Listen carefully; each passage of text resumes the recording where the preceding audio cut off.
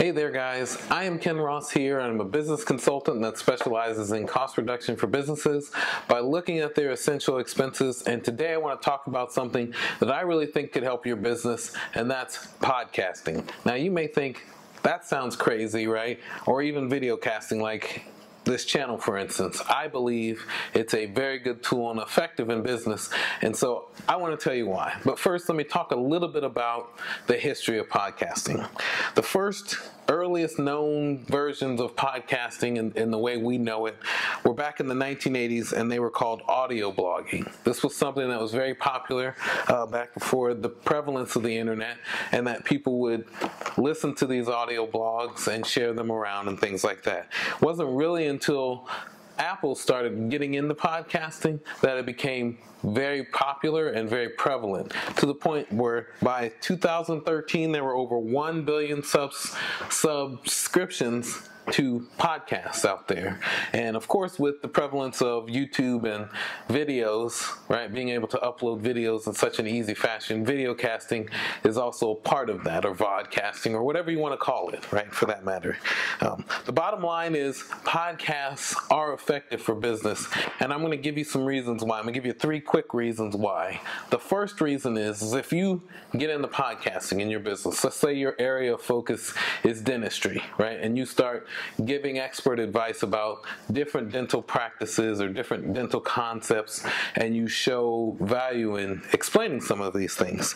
You become an industry expert online. You become someone that other people will see as an as an expert and say, "Hey, look, check out this great video or check out this great podcast that I listened to. This guy who talks about different aspects of dentistry and understand more about dentistry than what is just out in the common space, right? So it's it, it, becomes very easy for you become that expert because what you're doing is you're you're providing insight a little piece of insight into something that you know a lot about. And so you become an expert very easily because you have a podcast because you can point people back towards something that they can see as valuable to them. That's the first thing. The second thing it offers is trust honestly, I don't know about too many dentistry offices that have a podcast, but I would tell you if they had one, I would listen to them. I would listen to what they have to say. I would try my best to understand them more. And that would give me some some idea or some thought that I have a connection with them, that I understand what they're saying, that when I meet them the first time, it's not the first time I've actually really heard them say anything to me because a podcast doesn't sleep. A podcast doesn't grow tired. The information and the message may get stale over time, but that's why you are committed to putting out new information. That's why you commit to bringing more insight, right?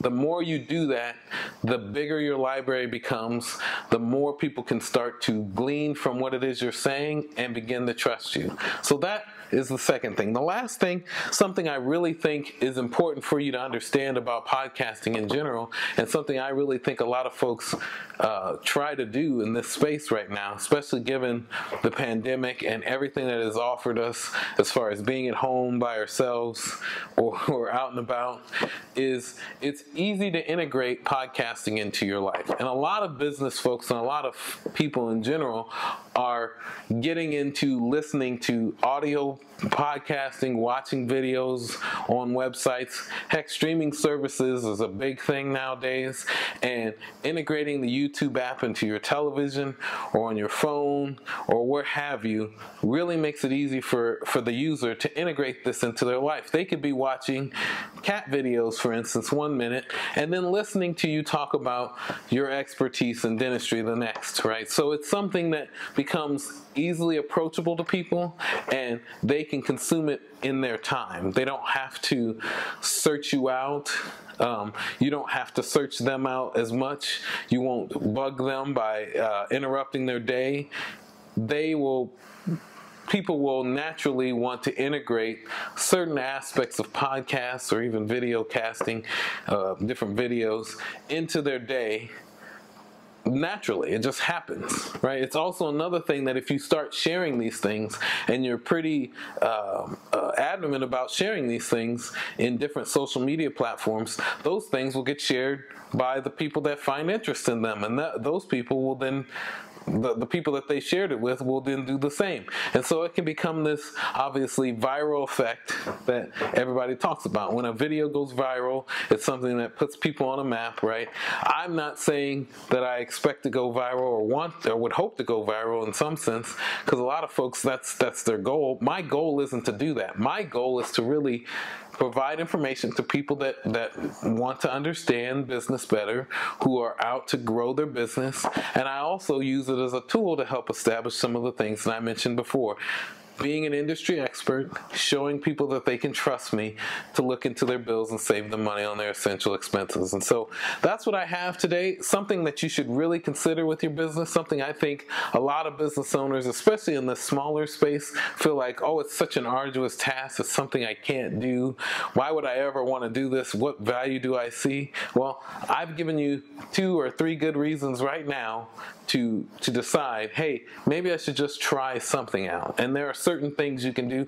I'm going to put a couple of links to some interesting articles in uh, the chat right now, or in the sorry in the description of this video. Please uh, give me some feedback on what you think about this this idea. What you what your thoughts are about.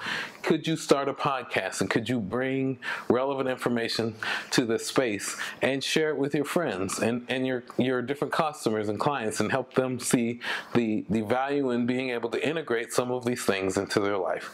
And with that.